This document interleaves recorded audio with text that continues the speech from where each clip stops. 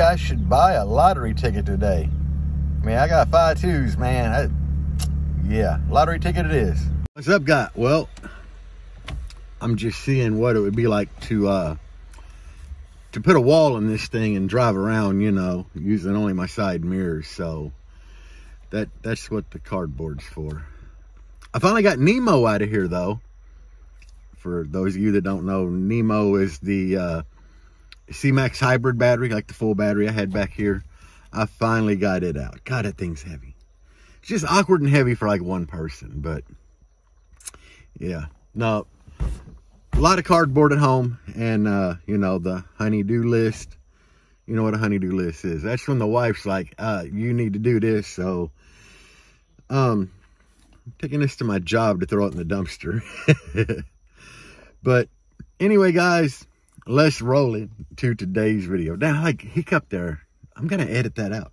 No, right, no, guys, good morning. And yeah, we don't have the pop today. Uh, they've been out of like the, the bottles for like God, four or five days, man. So we got the old double shot energy. Like I need that really. Uh, white chocolate. I don't know, man. It, it sounds like a beer cracking. I, I, I'm not a beer drinker, guys. Yeah, but that's not terrible right there. I mean, ain't as good as the bottle.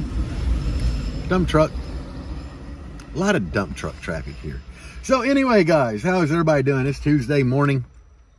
Great, beautiful day. It's not hot yet. I hope y'all watched my yesterday video. It wasn't great, but uh, for the people on uh, members on here and Patreon, I hope y'all enjoyed the nighttime video of the wife's little blazer. We got that thing. It's doing pretty good now. I'm, I'm pretty happy with it. We haven't really had a chance to play with it a whole lot since we moved, sadly. But it had things that needed to be done, like that transmission issue. Guys, I'm not a mechanic. I'm pretty mechanically inclined, but I'm not a mechanic. But if you got a 4L60E, it is really not hard to change them uh, solenoids in that valve body. It's like uh, you got a groove right under where it plugs in, and there's a little clip in there that you dig out with a pick.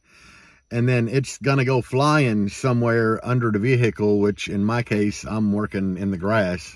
So on concrete, it would have been great, but working in the grass, not so much. So at that point, you have to go and dig out a big magnet. I'm not putting a subwoofer under there, but I got them magnetic trays like this big, you know, that hold boat. So yeah, just take one of them and, you know, run it through the grass and you're going to find your clip eventually. Uh, then, you know, unplug the sensor, pull it out, lube up the O-ring with trans fluid, plug the new one in to the valve body, put the clip back on it and plug it in and that's literally all it takes. But anyway, guys, I had somebody hit me with a message talking about uh, subwoofer sizes. And, you know, they're talking about, I think they were talking about 12s and 15s maybe. Uh, but if you have like pretty much the same subwoofers, just different sizes, same power, both of them in a really good enclosure, which one is going to be louder? The bigger sub because more cone area. Generally, more cone area will equal more efficiency if it's the same brand sub, same model. Both of them are in like really ideal enclosures. And uh, even with the same power, just because usually cone is king. So I, I would say, yeah, now there could be variables like maybe the tuning, well, no, the tuning on both of them be about the same. So resonant frequency in the cabin would be close to the same, you know. I mean, I'm going to just say that more area would be king if both of them are in ideal enclosures, tuned the same, just everything, yeah. But that's not what today's video is about.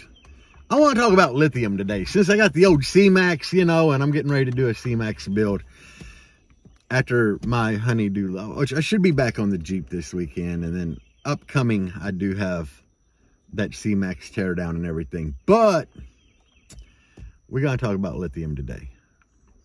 And the reason being, I see, I'm in a lot of lithium groups and car radio groups, and I see people uh, take apart these uh, cases that you buy, you know, I'm not going to really mention no brands, but there, there's a lot of them, you know, like the Titan batteries, the XS Power batteries, uh, underground power and all them. Now, guys, they're making hella profit off of you first off. I mean, they're they're just buying bulk cells and throwing them in a case with some uh, spray foam and some, you know, one-aught wire, a couple of lugs, and they're putting about a 400% markup on it. Maybe more. Now, is there a place for them batteries? Definitely. I'm not here to bash them batteries. That's not what I'm here to do. Like, I absolutely do not like limitless lithium batteries. Uh, just because I've read so many comments that are negative on them. And my buddy BJ, you know, he's he's one of the Jeep guys. Uh, but he's got a really, really nice Jeep. Uh, a lot of custom work in it and everything. And he had a Cyber 12K, and that thing was dropping voltage so bad with uh, a 5K amplifier. so with that, you know, I that just didn't impress me at all. He had, you know, like I think a 370 alt. he had the uh, bully or bulldog, whatever tuner, you know, little LCD screen and everything mounted, and and his tuner, he actually had uh, a menu to go in where he could like adjust his idle. So, you know, he's got this thing revving at like two grand. And when he's playing music, I mean, I was just, I was watching his voltage drop. So that really didn't impress me because before he put the Cyber 12 in there, he had an old DS18 limit, I mean, no DS18 lithium battery you know, a little red case with a positive and negative on it. That was, I think it was uh, around 72 amp hour of headway cells. And he didn't have voltage drop with that. So that just kind of like killed me. And I know the cyber batteries are like a, a I think they're a uh, more cost effective version of the limitless lithium. But I think a lot of guys, you know, for the price they're paying for that, if they would go join some uh, lithium groups on Facebook, do some research on YouTube about building your own battery. Battery Hookup has all kind of cells to get a decently made battery. And we're in a day and age where I honestly believe that the lithium batteries that people are building in their backyards is the way to go as long as they got proper uh, compression and everything, if you're running C-Max or Proto or whatever, but it seems like they're just way stronger batteries because when you go to a show and you see people demoing that have like really big systems, a lot of power, they're they're not running for the most part. Most of them aren't running a bunch of these like small little built by somebody else at a, a, shop battery, you know, like the Titans or the the Limitless Lithium, Underground Power, whatever. They're not running those. They're running huge banks of C-Max and Proto and Yinlong, which Yinlong cells are great. But uh, I, I think that if you guys do your research, you're going to wind up a lot better on your electrical. Even if you build it yourself in your backyard, man. I saw a post the other day of a guy that uh I think it was a headway build that he did or something. It might I think it was headway. But he made his own bars and he said you know, he just did it with aluminum uh flat bar and a drill press. And I mean, it looked phenomenal. He polished them out and they actually looked like they were machined. So a little bit of research to go a long way on this. Like I said, I'm not here to bash them batteries because the plus side of those batteries are they tell you where they charge at. A lot of times you don't know what cell chemistry is in that battery or what type of cell, but they tell you where they charge at. So, you know, you guys that just have a small build in a car, your voltage ain't on point, you can buy one of them batteries, put it in there. Some of them are even made to go under the hood. So that's a, another bonus. But you can have lithium, that's pre-built, ready to go. All you do is like put it in, hook up positive ground, you got lithium. And they'll work with your stock charging and so on and so forth. Uh, that's a really good thing to have for people that don't want to spend the time to build a battery. They can just buy one ready to go. Even uh, JP at Down4Sound, and I haven't tested them. I don't know what's in them. I knew they were coming like uh, a year ago when I was with Down4Sound. But they have the the battery that you just bolt to your wall or enclosure or in the back that looks like an amplifier. That was ingenious. I, I really like the way they look. They're set up really nice. You know, you can link them together. I don't know the price point on them, but I think they actually look cool. Because they, they'll kind of fit right in, look clean back there. That is a big plus.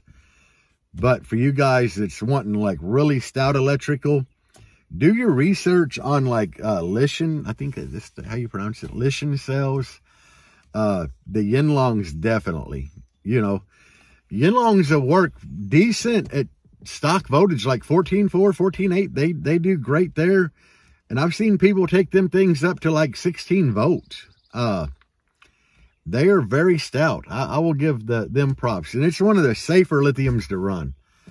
You almost can't kill a yinlong cell. It, you can't really, I mean, it's almost impossible to get one to catch fire, blow up, or whatever.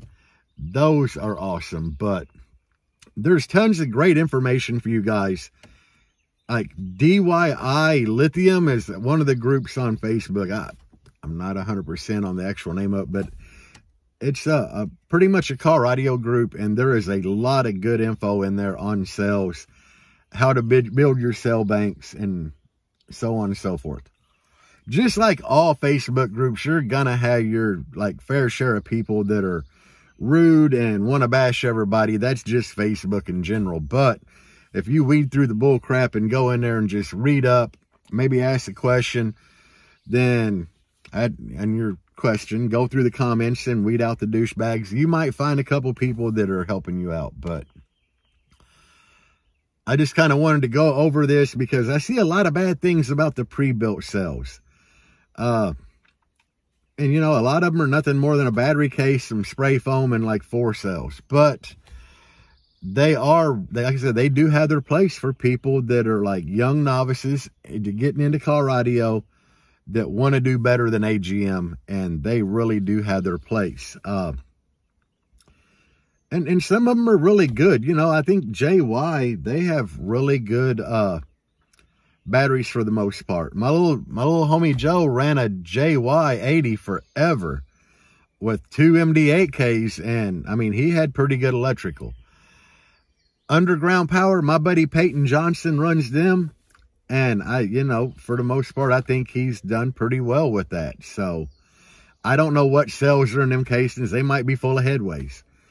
And I do have a couple headway videos on here where I bought a Super Beast module, took it apart and built a couple banks. Really easy to do. If you order the Headway Super Beast, that's like your best bang for the buck lithium at uh, batteryhookup.com. Just type in like Super Beast. You get enough headway cells to build a 96 amp hour battery. and you can go buy aluminum flat bar and, you know, trace the bars that connect it all together in there. Lay out a configuration and drill holes. And, you know, I built a 48 amp hour out of that in an hour. And that was like cutting the aluminum bar, drilling it, bolting everything together and throwing a balancer on it. It literally, I spent an hour putting a 48 amp hour together. So anyway, I hope this video helps somebody with their lithium journey. Do research. Uh, I think Walt Johnson at Carolina SPL, giving him another shout out because he, you know, did me right on some uh, CMAX bars. But he does make a lot of bars for different lithium chemistries. And, you know, he does pretty nice work.